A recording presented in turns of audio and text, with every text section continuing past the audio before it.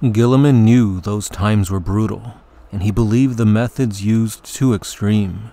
He had privately disapproved of some of what his so called father had done, though in truth, even the worst atrocity was but what Guilliman himself had performed in Ultramar.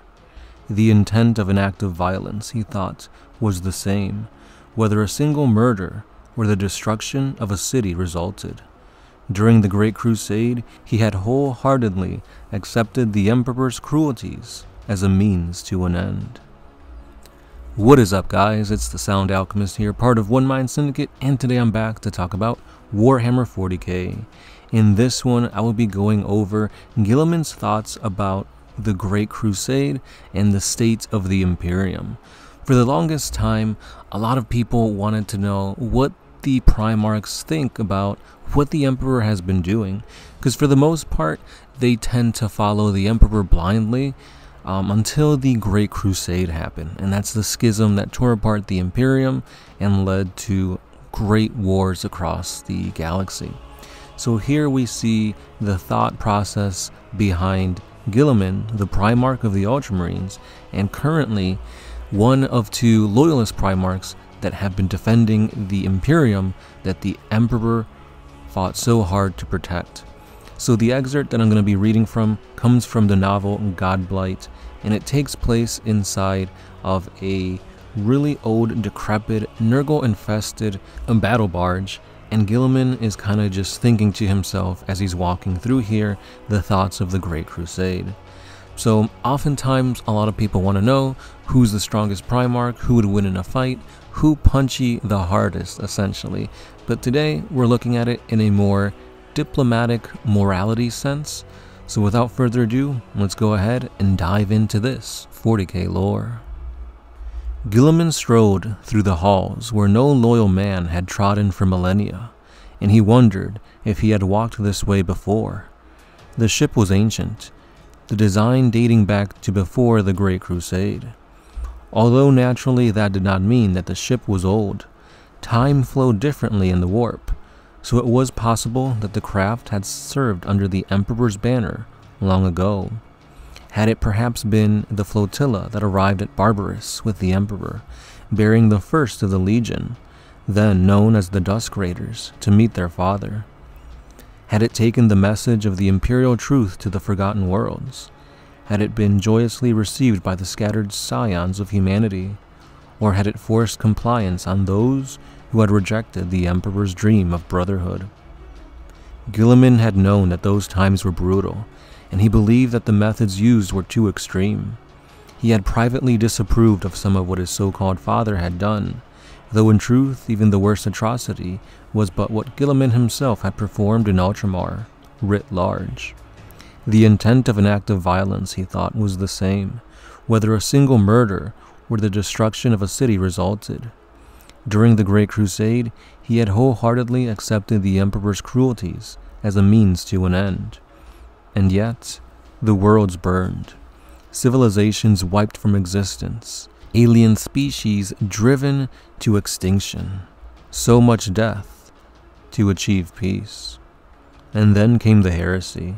The truth of what the Emperor had withheld was thrown in his face. Even during the crusade, Guilliman had wrestled with his conscience. He had argued with his brothers as the morality of their actions.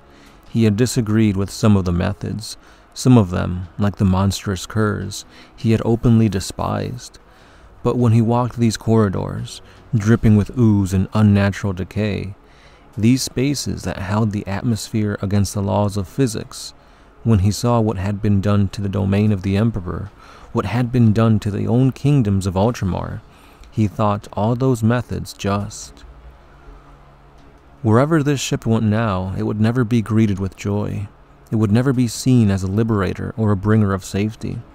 Whether its shadow fell across the worlds of mankind or Xenos, it had nothing to offer but cargoes of pain, corruption, disease, and decay. Perhaps nothing should be ruled out in the end. Perhaps no deed was too dark to hold back the horror that chaos brought. There were no ethics, no morals, nothing. Nothing that could be sacrificed to preserve the species, to ensure mankind survived against the odds. Maybe that was what Guilliman had not understood before. He was beginning to think he understood it now, though it burned his soul to accept it. Theoretical. The Emperor had been right, after all, about everything. The Eldari, the Necrons, the rest of the galaxy's thinking beings. They were worse than men by far.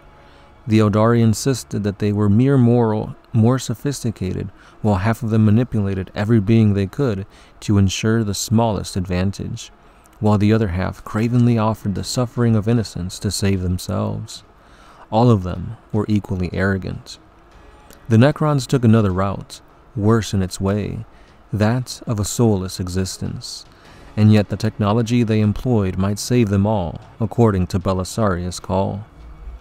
He thought to times he had raised his concerns and had them soothed away. The Emperor had made impassioned cases for the unity of humanity, for the rediscovery of lost might and technology. He had never mentioned chaos, not even once. Guilliman thought he understood that, for a brutal galaxy demanded a brutal regime to keep it safe.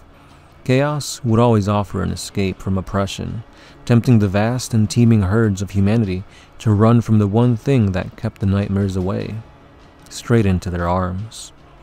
Theoretical. The Emperor had intended this phase to be temporary. Instead, it had persisted since his internment upon the Golden Throne. Practical. It was up to him to set that right. A normal man can accomplish a dozen things at once. A great man can accomplish a thousand, he thought, recalling the words of his foster father, Konor, had said to him. But no man, no matter his ability or his will, can accomplish more than one grand scheme at a time. His thoughts strayed to the Codex Imperialis, sitting unfinished in his scriptorium. One thing at a time, Roboutes. My lord, Culkin asked. Nothing, said Guilliman, yet he thought he could not afford to tarry. And there you have it, guys. This was the excerpt from the novel Godblight, giving us an insight into a Primarch's thoughts on the whole Great Crusade and the and the overall dealings of the Emperor. So we could see here that Guilliman didn't approve of everything that the Emperor did. He saw it too strict, too powerful, too greedy. Um, but that is kind of what was needed at the time, and he knows this. Seeing where the Imperium currently is, after the effects of the whole Horus heresy, he knows that what the Emperor was doing was kind of the right thing, except for one, and that is chaos. Chaos was always persisting in the back of all the events that the Emperor was trying to do. Um, like he said here, a good man can only do so much, and the Emperor was doing so much and more, but at the end of the day, no one man can achieve everything they set out to do and have everything go according to plan.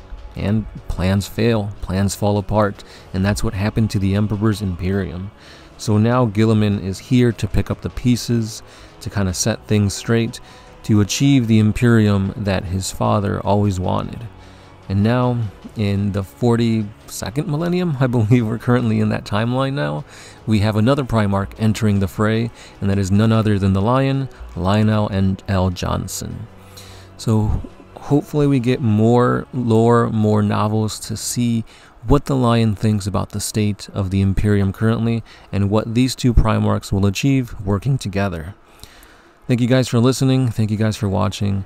As always, if you guys want to support us here at One Mind Syndicate, subscription, a like, a share, commenting down below will help us a ton. But if you want to go the extra mile, you can support us here on YouTube through a Super Thanks, or you can go to our Patreon page and pledge a simple dollar a month, and that'll help us bring you more 40k videos each and every day. And that's all I got for you guys today. So it's been the Silent Alchemist, part of One Mind Syndicate, and I'll catch you guys in the next one. Peace.